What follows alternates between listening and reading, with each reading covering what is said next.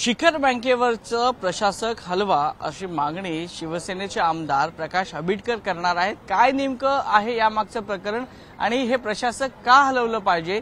या संदर्भातली माहिती जाणून घेऊ. आंबेडकरजी काय का तुम्हाला हे प्रशासक नको आहे महाराष्ट्र राज्य सहकारी बँक ही एमएससी एस सी बँक ही राज्याची शिखर बँक आहे. जिल्हा बँका नागरी बँका आणि त्यांच्या माध्यमातून जी काही फेडरल युनिट आहे त्याचं शिखर संस्था म्हणून महाराष्ट्राच्या दृष्टिकोनातून या बँकेचं अनन्यसाधारण महत्त्व आहे. दोन हजार अकराच्या दरम्यान दुर्दैवानं त्यावेळेला आर्थिक अनियमिततेचे काही प्रसंग झाले की ज्यावेळेला त्यावेळी प्रशासक तत्कालीन मुख्यमंत्र्यांनी आणि शासनानं लावला. दोन हजार अकरापासून दोन हजार बावीस आता आलं. अकरा वर्ष एखाद्या संस्थेवरती प्रशासक लावणं हे आमच्या सर्वांच्या दृष्टीने अत्यंत नामुष्कीच आहे. खरं म्हणजे कुठलाही प्रशासक हा सहा महिने आणि जास्तीत जास्त एक वर्ष या कालावधीमध्येच झाला पाहिजे आणि निवडणूक झाली पाहिजे. आत्ता तरी या बँकेची आर्थिक स्थिती अतिशय उत्तम आहे. पूर्वीच्या काळामध्ये साडेतीनशे रुपये नफा होता. आताच्या उत्तरामध्ये सन्मान्य अजितदादांनी असंही सांगितलं की तो साधारणतः सातशे कोटीपर्यंत जाईल.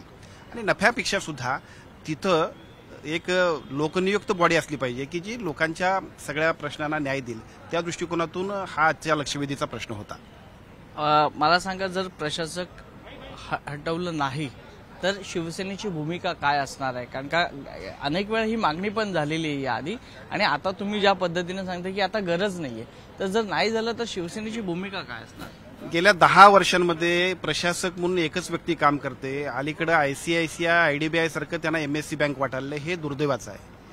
जरी एम एस सी बँकेमध्ये काही एका दुसरी आर्थिक अनियमितता झाली असेल ती सगळी लोकांच्या हितासाठी झाली होती. आणि भविष्य काळामध्ये सुद्धा लोकनियुक्त बॉडी असेल तर ती लोकांच्या संस्थेच्या ना जिल्हा बँकेच्या हितासाठी काम करेल. इथं जर काय आम्ही मंडळी लोकप्रतिनिधी म्हणून काम करतोय त्यावेळेला जर प्रशासकानंच सगळं कामकाज चालवायचं झालं तर कदाचित उद्या वेगवेगळे डिपार्टमेंट सुद्धा बिवटी तत्वावर चालवायला द्यायला लागतील. या सगळ्या मुद्द्याला ज्यावेळेला सभागृहात आम्ही लक्षात आणून दिले त्याच्यानंतर मात्र निश्चितपणे सर्वच सभागृहाच्या हे लक्षात आलंय. माझा मी पुन्हा प्रश्न रिपीट करतो की जर हे हटवलं गेलं नाही तर शिवसेनेची भूमिका काय असणार आहे?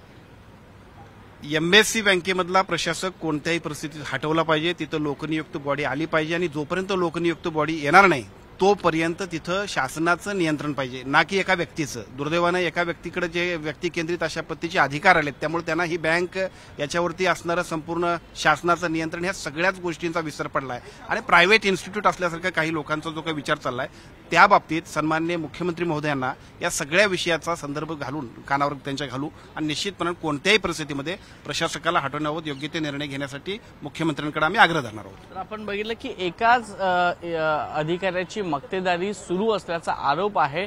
तो शिवसेनेकडून होतो आणि थेट आता त्याचे पडसाद आहे. ते विधिमंडळात देखील पडताना पाहायला मिळतात. त्यामुळे प्रशासक नेमकं कधी हटवलं जाईल आणि शिवसेनेची जी मागणी आहे ती पूर्ण होईल का याकडे प्रामुख्यानं सर्वांचं लक्ष लागून राहिलेलं आहे. कॅमेरा पर्सन रुपेश शिलारचं वैभव परब एबीपी माझा मुंबई. एबीपी माझा उघडा डोळे बघा नीट.